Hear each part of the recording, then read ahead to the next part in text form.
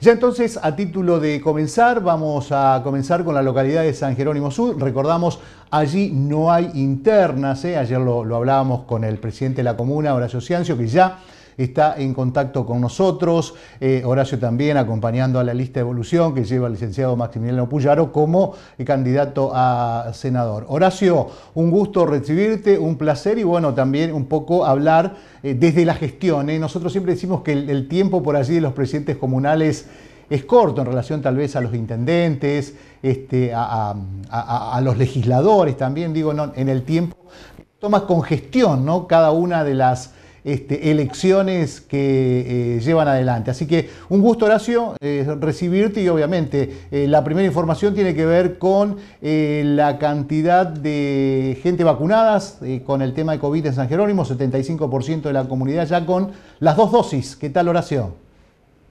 ¿Qué tal? Buenas tardes, Mario. Bueno, en primer lugar, muy agradecido de tu invitación a este programa tan importante para la región, tan escuchado por, por las sociedades, por nuestras comunidades y y realmente es importante para nosotros poder eh, participar de él para hacer conocer nuestras ideas eh, y nuestras gestiones.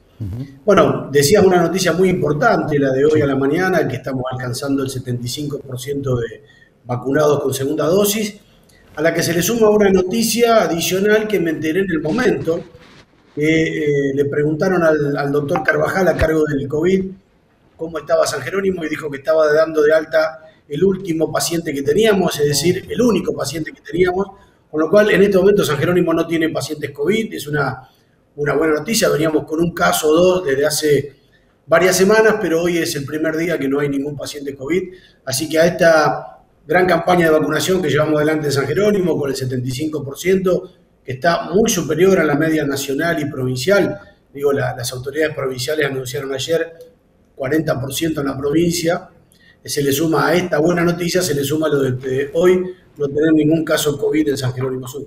Bien.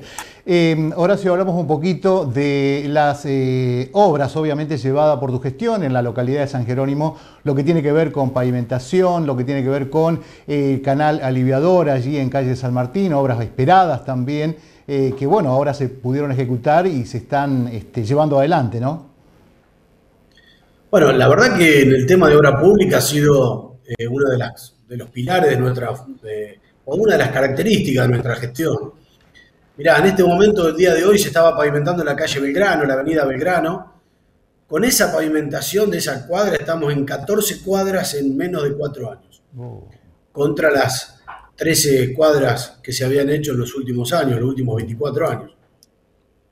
Llevamos 30 cuadras de cordón cuneta, 63 cuadras de iluminaria del alumbrado público absolutamente nuevo y la obra del entubamiento, que es un emblema de nuestra, de nuestra gestión, por la importancia que tiene para nuestra localidad, pero también por la importancia y el impacto económico que tiene hacer una obra de estas características. Hoy, el valor actual de esa obra está en los 55 mil pesos el metro lineal, y estamos hablando que una cuadra de 100 metros nos está costando 5 millones y medio. Y ya estamos superando los 440 metros de obra. Con lo cual, eh, nos permite ver el tamaño de la inversión que tiene para San Jerónimo hacer esa obra pública junto con el resto. Eh, así que la verdad que en, obra pública estamos muy, muy contentos. Teníamos un plan, lo venimos siguiendo, tuvimos que tener algunas pausas durante la pandemia, el año pasado, este año, pero en términos generales tenemos un nivel de cumplimiento de arriba del 80% de nuestra expectativa y todas las obras están avanzando porque Digo, no es solo esto lo que estamos haciendo, digo, estas tres cosas que decía, estamos ensanchando caminos rurales, levantando caminos rurales, cambiando eh, desagüe y ampliando desagüe en caminos rurales. Estamos haciendo bueno, la renovación de la Plaza San Martín en frente de la comuna del Sanco, que todo el pueblo nos felicita y nos agradece lo linda que está quedando. Es una obra muy, muy importante. Digo, la readecuación de la plaza de juegos con nuevos juegos. Eh, con recuperación de los juegos anteriores, el, paseo del ferrocarril, es decir, en obra pública hemos invertido en todas las áreas, en, los espacios públicos, en obra pública, en, pavimento, en cordón cuneta, en mejorado, en, caminos rurales, bueno, En definitiva, una gran eh, amplitud de obra pública que nos permite hoy tener eh, números altamente positivos. Horacio, eh, lo que tiene que ver con el desagüe de calle San Martín, ¿se va a continuar? El... Está previsto, ya la licitación se abrió hoy, se adjudica el viernes, así que el lunes, si el tiempo nos acompaña, empezarían los trabajos de, sacar el, actual ripiado y, comenzar a adecuar la, la, base, digamos, y fines de septiembre estar pavimentándola. Bien. Eh, lo que tiene que ver con iluminación también se ha hecho, como decías recién, ¿no? Se ha hecho una, gran inversión, fuerte inversión en todo el sistema lumínico que obviamente también aporta seguridad a la comunidad. Exactamente, llevamos 63 cuadras de iluminación nueva, completamente nueva. Recuerdo que no es solo un cambio de una lamparita por LED, sino que es columnas nuevas, cableado subterráneo nuevo, cableado interno nuevo, obviamente luminaria nueva y medidas de seguridad, tableros nuevos. Eh, la intención es terminar este año con todas las calles que van en el para fin de año. Una vez que terminemos eso, empezaríamos a trabajar con las calles que tienen sentido norte a sur para llegar en el 2023 eh, luego con los callejones y completar todo el alumbrado público absolutamente nuevo en la localidad. Es el objetivo que nos hemos puesto para fines del 2023, tener todo el, alumbrado público nuevo, un alumbrado de calidad, porque estamos poniendo una buena cantidad de columnas, 4, 5 y hasta 6 por cuadra, en función de los tamaños de las cuadras, eh, luces de LED de alta potencia, que además consumen muy poco nos permite una mayor luminosidad para el vecino y también para las cámaras de seguridad que tiene la comuna, que pueden trabajar tanto de día como de noche con, mucha facilidad. Claro. Em, decía con el tema de seguridad realmente aporta, bien, bien lo marcabas, ¿no? aporta más, este, si se quiere, seguridad contra el delito, básicamente, ¿no? ¿Cómo está el tema en San Jerónimo con el tema de seguridad, este, Horacio? Nosotros somos o tenemos tres ojos más todas las 24 horas, uno en el monitoreo y dos recorriendo el pueblo, eh, que le permiten a la policía tener un trabajo de una manera distinta e interactuar con ellos. Hemos implementado la oblea identificadora de vehículos, realmente yo invito a los vecinos a pasar en algún horario para que vean cómo inmediatamente se notan las cámaras cuando hay un vehículo de nuestra localidad y permite, cuando no lo es, hacer un seguimiento distinto. Eh, hemos aportado mucha tecnología, a la Guardia Urbana, digamos, antes el llamado era un celular y ese celular lo tenía el, guardia eh, el que estaba controlando, hoy, hoy queda en el, directamente en el monitoreo, lo recibe la persona que está monitoreando y por radio puede hablarle a la policía, a los bomberos y a la Guardia Urbana, entonces está centralizada la información y tenemos registro de qué información tenemos, de qué llamada tenemos todos los meses, de qué características, es decir, y además hemos invertido mucho en capacitación con, el equipo de la Guardia Urbana. Siempre con el objeto de ayudar a la policía a cumplir su objetivo de mantener la seguridad en la localidad. Horacio, con el tema de obras, eh, ¿está pensado seguir el tema de cloacas? Bueno, esa es una pregunta muy importante. Nosotros tenemos un proyecto aprobado que sería la segunda etapa de cloacas en San Jerónimo Sur desde hace ya tres años y que eh, el gobierno anterior había conseguido un financiamiento de una agencia francesa, no solo para San Jerónimo, sino que había 42 obras de cloacas ahí, eh, Rafaela, Esperanza, eh, San Lorenzo, una buena cantidad de localidades, que estaba esperando la autorización de endeudamiento, como corresponde, en la legislatura provincial y está en el Senado de la provincia sin autorización y es una lástima porque la provincia se está perdiendo en este contexto de que no hay crédito internacional, un crédito sumamente blando, a largo plazo, que ni el gobernador va a pagar la primera cuota, y que nos permitiría solucionar el problema de las cloacas de una sola vez, con una obra de dos años y medio aproximadamente, financiada enteramente por el gobierno provincial. Pero bueno, estamos tratando de reactivar eso como hemos reactivado, gracias a Dios, las viviendas, digamos que habían sido paralizadas por el gobierno actual y bueno, con mucha gestión, insistiendo y haciendo ver la necesidad que tiene San Jerónimo, ha podido avanzar. Y esperamos, en ese mismo sentido, poder lograr en algún momento que el gobierno de la provincia pueda entender la importancia que tiene para San Jerónimo Sur, como las otras localidades, con esta obra de cloaca, poderla llevar adelante. En lo que tiene que ver con los nuevos emprendimientos, básicamente apuntando a, Punta Chacra, digo, cuál es eh, un poco la, perspectiva que se está dando, este, ya está habilitado para la venta y cuál es un poco la relación ¿no? que obviamente tiene este, la, localidad con el nuevo emprendimiento, montado también en servicios, Horacio. Bueno, a ver, es un emprendimiento que tiene la característica de generar suelo urbano de calidad, porque tiene todos los servicios y, eh, o sea, cloaca, agua potable, cordón cuneta con ripiado, alumbrado público de LED, con cableado subterráneo, obviamente eh, la red domiciliaria de electricidad y también tiene que colocar cámaras de seguridad y obviamente el arbolado.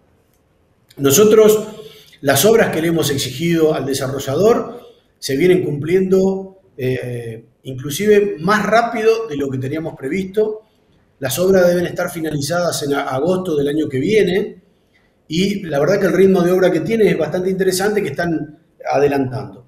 Eh, ya están haciendo las obras que conectan lo que sería el eje urbano tradicional con el nuevo barrio, que son las cuadras de cordón cuneta de las calles 9 de julio, América, eh, deben hacer Estrada y primero de junio entre octubre y noviembre. Y la verdad que la relación es muy buena. Nosotros vemos que las obras tienen un buen ritmo Sé que están, están autorizados para la venta, están vendiendo bien los lotes. Lo que no está permitido es construir hasta que no se terminen primero todas las obras y no se termine la tramitación luego de la ah. división de los lotes que le asignan a cada uno. Si la comuna no va a permitir ninguna construcción hasta que no esté todo terminado y que ahí realmente nosotros tengamos claros en las condiciones que la comuna va a recibir el barrio. Así que eso viene muy bien y, bueno, ha generado mucha expectativa positiva, tanto en los vecinos de la localidad como eh, de otras localidades, pero principalmente nos dicen que han comprado los terrenos o los lotes eh, eh, vecinos de San Jerónimo para sus hijos o familias de San Jerónimo que se habían ido por cuestiones laborales o de estudio y están queriendo regresar a nuestra localidad. Perfecto. Eh, Horacio, eh, charlando un poco también de la funcionalidad de, la comuna, es decir, cómo está para la prestación de servicio, ahora ya viene la temporada estival, desmalezamiento, riego, alumbrado, este, bueno, recién decías un poco el, tema de, todo el sistema lumínico, pero básicamente lo que tiene que ver con desmalezamiento, con barrido, este, con riego, cómo, cómo está la comuna en este aspecto. Bueno, ahí tenemos dos aspectos fundamentales. El primero es que San Jerónimo tiene eh, una calidad de servicio o una calidad en la prestación de servicio alta. Así es está valorizado de esa manera por los vecinos. Nosotros medimos en encuestas semestrales y, venimos muy bien en la calidad de, prestación de servicio de la comuna. hay dos cuestiones, digamos, hecho, hemos hecho eh, que lo podemos dividir. Por un lado, hemos tercerizado muchos de los servicios, corte de pasto, casi eh, prácticamente todo. Hemos agregado espacios para mantener, digo, las rutas. La ruta 9, mm, antes se cortaba solo el ejido urbano, ahora estamos cortando hasta el Colegio Manuel Can hacia el este y hasta el Camino Los Pumas hacia el oeste. hemos agregado la bajada de la autopista, inclusive eso, un corte tirando, ya llegando a nivel de parquizado y mantenemos la, la banquina que le corresponde a Vialidad Nacional en todo el límite del distrito San Jerónimo Sur. Eh, eso ha sido tercerizado, hemos tercerizado, eh, tercerizado algunos servicios también. Y por otro lado, hemos invertido en equipamiento y maquinaria que nos permiten tener un muy buen nivel de servicio eh, y eso nos, permite encarar cada año con mucha tranquilidad de saber que vamos a llegar muy bien con, con, todos los vecinos, como hemos venido haciendo hasta aquí. Realmente no tenemos ningún tipo de inconveniente en la prestación de servicio. la situación financiera de la comuna eh, sueldo, proveedores, eh, teniendo en cuenta también que ya está el, aumento que se ha adelantado para, para, los, empleados municipales y cómo está la, comuna en lo, financiero. El, aumento de los empleados municipales lo cobraron el 31 de agosto, la paritaria creo que fue unos días antes y se liquidó el sueldo con el aumento. Eh, la comuna de San Jerónimo Sur tiene una gran solvencia económica y financiera digo económica y financiera porque económicamente los meses genera eh, superávit y financiero porque además tiene ahorros que hoy estamos hablando que tenemos ahorro de por lo menos siete meses de sueldo. Eh, eso nos, nos, da una gran tranquilidad financiera y nos permite tener siempre una perspectiva a tres o cuatro meses. Es decir, empezamos hoy a planificar lo que vamos a hacer dentro de cuatro meses y en función de, de obtener los recursos, sabemos que en cuatro meses vamos a hacer la obra mientras vamos haciendo eh, las obras que planificamos los meses anteriores. Así que en ese aspecto la Comuna de San Jerónimo Sur ha alcanzado un nivel de solvencia económica y financiera que te permite planificar y trabajar eh, seriamente a mediano plazo como mínimo. Horacio, indudablemente por todo esto se ve una administración este, tajante, ¿no? constante, un seguimiento de los recursos, ¿no? que esto es optimizar y volver en obras, que esto es fundamental. Exactamente, Mario. Mirá, yo le contaba a, unos vecinos uno, hace unos días atrás y también hacía una nota.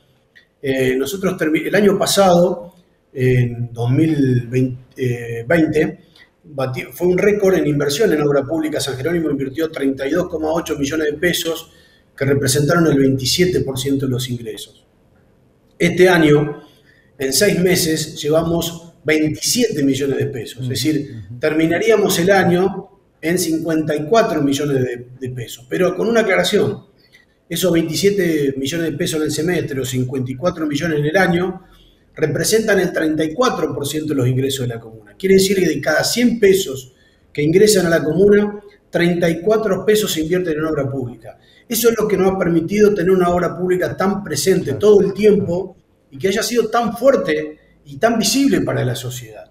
Eh, los números realmente eh, son de esas características, nosotros tenemos una, administración muy sólida que pelea cada centavo a la hora de pagar y a la hora de cobrar, porque es la responsabilidad que tenemos que tener, digamos, no es dinero mío, sino que es dinero de la comunidad y tenemos que ser muy claros, muy transparentes también, digo, publicamos mensualmente los balances, hacemos eh, rendiciones de cuentas, cuando no se pudo como consecuencia de la pandemia, hicimos videos publicitario donde mostrábamos los números, en qué se había invertido.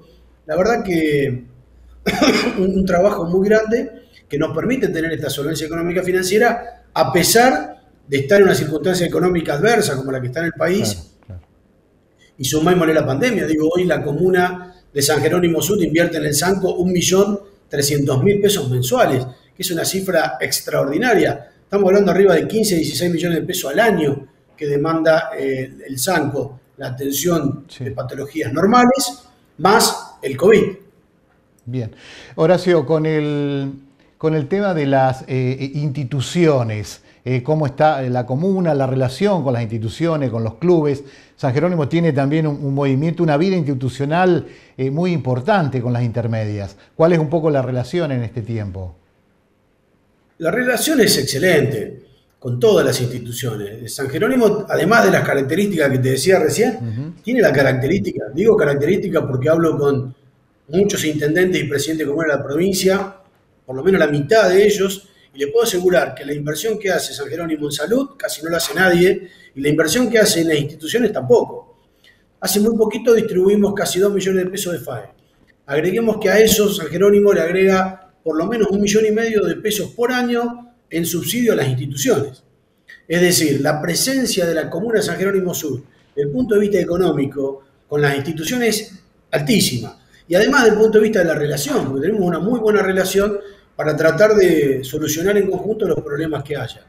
Es uno de los puntos fuertes que tiene nuestra comunidad y nosotros tratamos de estar a la altura de esas, de esas exigencias, de ese punto tan alto que tiene San Jerónimo con una institucionalidad tan fuerte como son las ONG de nuestra localidad. Maxi Puyaro lo conozco hace muchos años, es una gran persona, pero además de eso, pasó por la gestión pública y ha mostrado un gran coraje cívico, quedó demostrado en estos días en la declaratoria que ha tenido que hacer eh, con el tema de los bonos, y, ahí pudimos conocer eh, que había sido amenazado y sin embargo siguió adelante con sus actividades normales, eh, ha mostrado mucha capacidad y, en la gestión y también ética en la gestión y en la administración pública.